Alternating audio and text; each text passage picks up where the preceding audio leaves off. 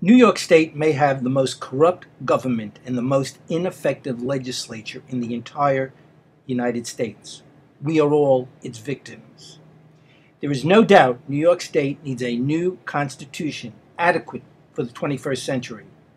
We have the opportunity to vote for a new state constitutional convention on election day in November.